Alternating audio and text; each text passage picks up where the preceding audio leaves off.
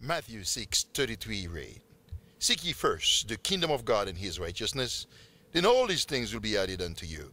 Therefore, keep God first. Son, keeping God first. Keep God first.